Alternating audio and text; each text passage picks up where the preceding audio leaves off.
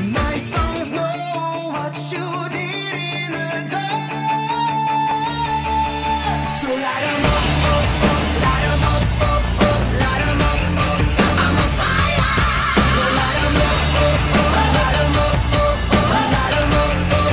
afternoon, everybody, and welcome again to Yinzer on Hockey.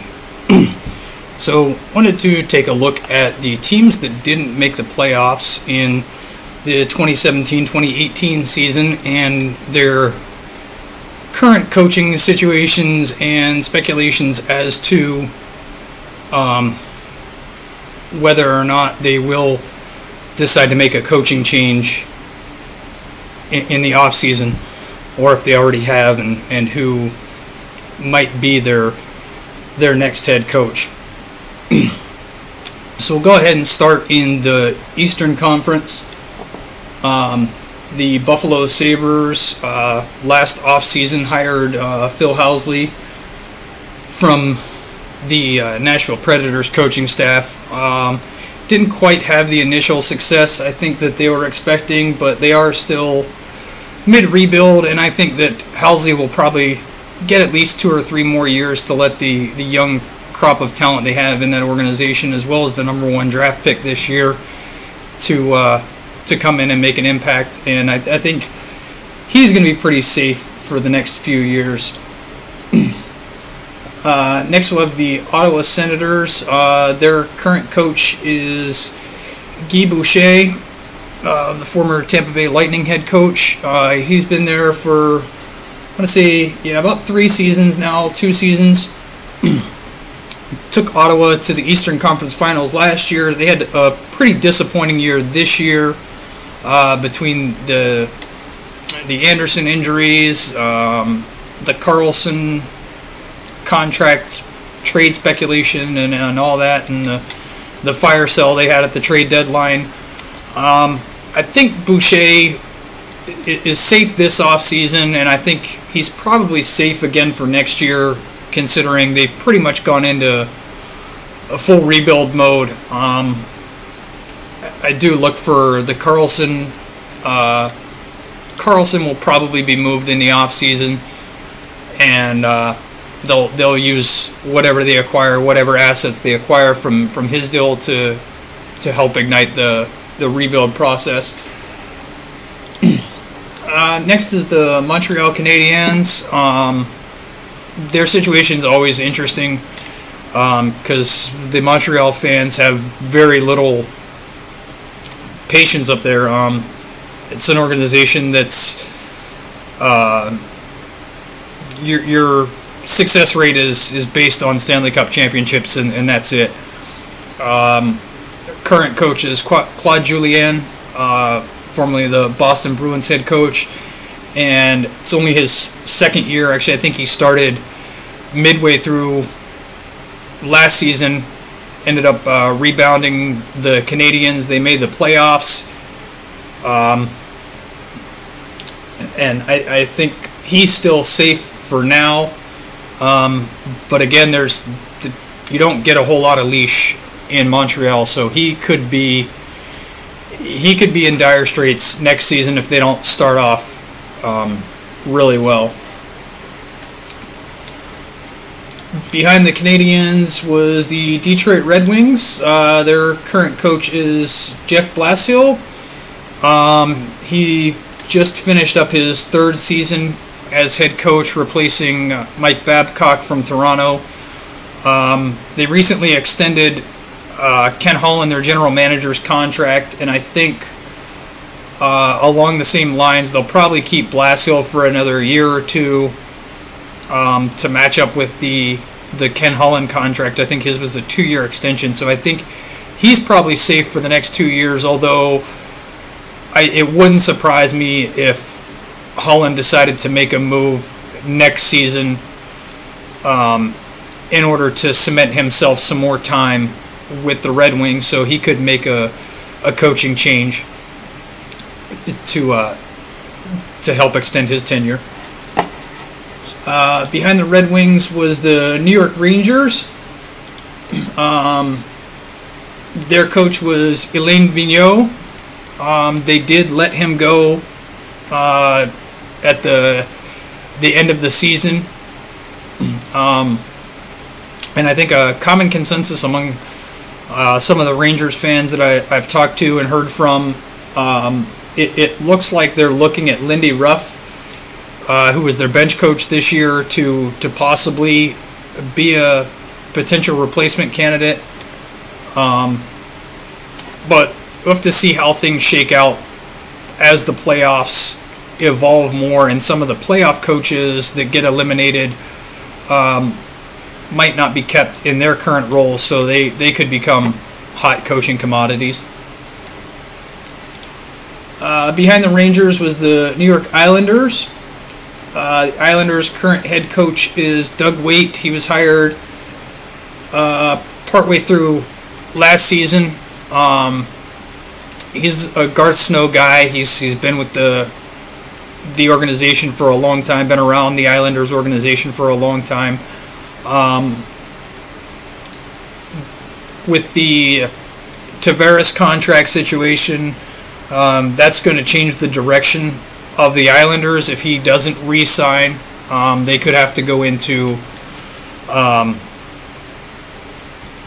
a full rebuild or at least a, a heavy retooling to replace a guy like Tavares. So I, I think Doug Weight will be the coach um, for for next season for sure, and possibly beyond that. Um, he he is Snow hired him to steer the Islanders in the right direction for the majority of the season. They were in playoff contention, and I think that they'll try to continue on that that upward trajectory to get back to the playoffs. And I think Doug Weight will be the guy for them.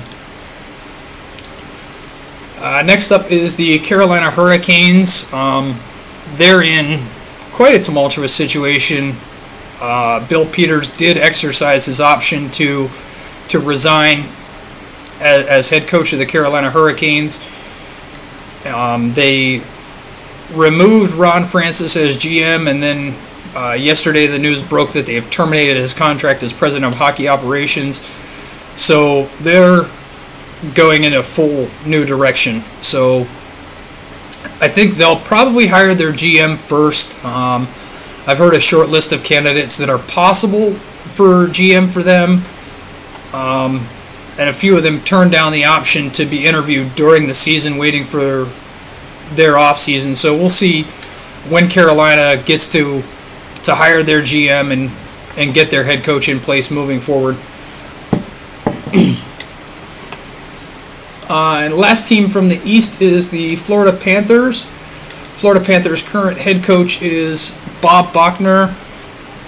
and the way Florida competed this year, I don't think a lot of people expected Florida to to be a competitive team with all the changes that they made in the offseason, letting Marchessault go, letting Reilly Smith go, uh, not bringing back Jaromir Jagr, so they lost a lot of veteran leadership there. Um, and I think with that young core of talent that they have in place with Markstrom and and some of the other guys, I think Ekblad was another one. They all had really good years, and um, with Luongo coming back for another year, I think they'll be pretty much all in this year to to make their their dedicated run to the playoffs. So I think um, Boughner will will be there to uh, for them at least next year. In the West, uh, Arizona Coyotes. Uh, their current coach is Rick Tocchet. They hired him off of the Penguins staff last year. Uh, parts of this year, Arizona looked like a really good competitive team, uh, but it was pretty much too little too late as they started their run late in the season and couldn't recover from their October November, uh, where they were just abysmal to start the season. They have a lot of very good young players. Um, they did miss out on the draft lottery, so they'll be drafting fourth. but um, this draft is speculated to be one of the deeper deeper draft pools, so they'll be able to get some talent in the draft. And um, I, I think the guys started to buy into Tocchet's system towards the end of last year, and their their outlook looks pretty bright. I would expect them to be a sleeper team that it could be like this year's Colorado Avalanche. They could be the team that that just jumps off the jumps out of the gates and, and gets off to uh, a really good start and able to cement themselves a playoff position, possibly sneak into the back end of the playoffs next year. Uh, Vancouver Canucks current coach is Travis Green. Uh, I know he is one of. Uh, I think he was a teammate of Trevor Linden's when he played in Vancouver, so a lot of familiarity there. Um, the quote unquote boys clubs that exist in today's NHL. Um, it was his first year on the bench last year, so they're definitely going to give him some more time to develop. Um, they're going to go into a pretty heavy rebuild with the the Sedins both announcing that they've retired. So, um, bringing in a new core of, of talent to reinvigorate that fan base, uh, with the Bo Horvats and the Brock Boesers taking up uh, leadership roles in that locker room. I think that Travis Green has the belief of the locker room, so I think that that they'll be they'll be pretty safe moving forward with with him on their bench. The Chicago Blackhawks, uh, Joel Quenneville, is I, I think he's the longest tenured coach in the NHL right now. Um, with with his organization in Chicago, um, they did announce that they are keeping Quenneville and Stan Bowman uh, at least through this off season.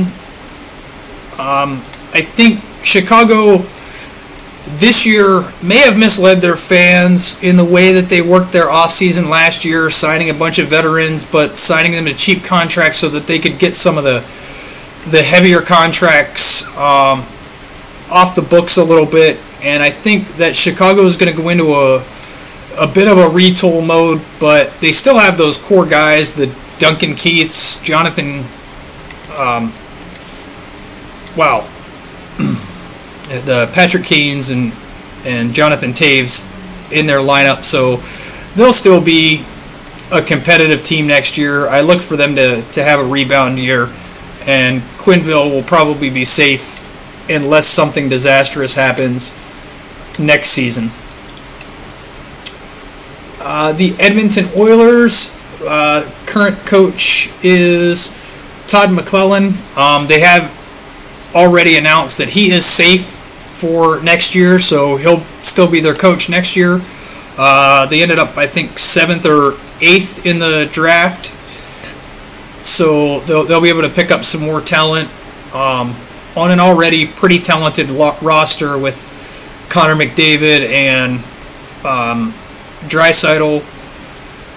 in there. Um, maybe they'll look at buying out uh, Lucic's contract, but that's a, a pretty hefty buyout if they have to do that. But McLellan's going to be the coach there next year, and I, I think much like Quenneville that I spoke of before, it would take a pretty disastrous result for Edmonton to get rid of McLellan. They did make some front office changes, um, so we'll see how that affects his tenure moving forward. Uh, next up is the Calgary Flames. Uh, they did let uh, Glen Gulutzan go uh, in the offseason and signed Bill Peters of the, the Carolina Hurricanes. So they have decided that um, that Peters' system works well with the, the youth they have up there. And they should be pretty much cemented for the next few years. I know they Brian Burke um, stepped down as GM, so they'll have a new GM in place as well. And um, I think that Calgary is a team that's right on the edge of, of being very successful. So, and, and I think it was uh, a fair decision for Peters to leave Carolina to take the Calgary job. He's, I believe he's an Alberta native, so he wanted to go back up there close to home. And Carolina, with the new ownership group, uh, new GM, give them a chance to basically do a full reset on their, their front office and their coaching staff. And I think it was a, the best decision for both teams there to make that decision. Um, Dallas Stars. Uh, Ken Hitchcock was their coach last season. He decided to retire in the offseason. I think he took a position in uh, in their personnel office, so he's he's going to be working with them in an advisory capacity. So, um, so Dallas will be will be seeking a new head coach, and like I said, a lot of these coaching decisions, especially the vacancies, a lot of that will depend on how things shake out from the playoff teams and whether or not they decide to keep their their coaching staff intact. I know there's a lot of speculations of uh, Randy Carlyle as to whether he'll stay in Anaheim. Um, Barry Trotz will be an interesting situation coming out of Washington as to whether or not they're able to to get past the Penguins in the second round. That could have a large influence as to whether or not he gets a new contract in the offseason. So those guys would be candidates to consider if uh, if those teams decide to go different directions um, pending playoff failure. Uh, next team is the St. Louis Blues. Uh, their current head coach is Mike Yeo. Um, I know he was the former head coach of Minnesota Wild, spent some time in the Pittsburgh Penguins organization. Um, that's where he was recruited as a, a candidate for the Minnesota job.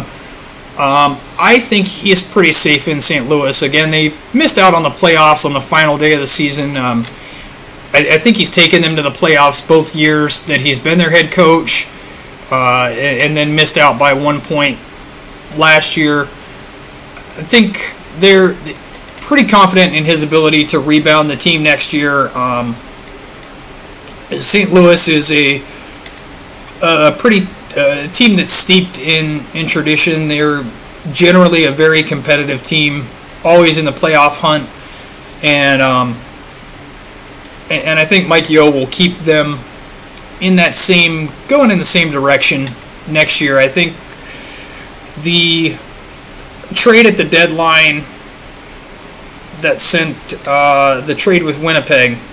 Uh, the name's escaping me right now. I can't remember. It'll come to me in a minute. But but that trade that basically made it look like St. Louis was kind of not going to make a run of the playoffs, and then and then Mike Yeo kept them competitive all the way to the end of the season. I think that shows that the locker room has a very good belief in in the way Mike Yeo coaches, and they're probably going to be right back in the playoff mix next year. I think next year could be a year, um, especially in the Western Conference, where we see a lot of playoff turnover from teams that made the playoffs this year and the teams that could be competing for the playoff spots next year. We might see as many as four, five, or six teams that did make the playoffs this year be in a spot where they could make the playoffs next year with the right coaching staff and the right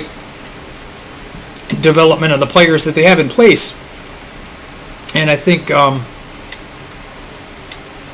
that you know we could see that come to fruition. Maybe not in the East as much. Um, I, I, think the teams that miss the playoffs in the East have a lot more work to do than they do in the West. I think the Western teams are a bit more uh, competitive outside of the playoffs that, for the teams that didn't didn't make it. So that's kind of my thoughts on the directions of the teams that missed the playoffs um, and what I think they might do coaching wise.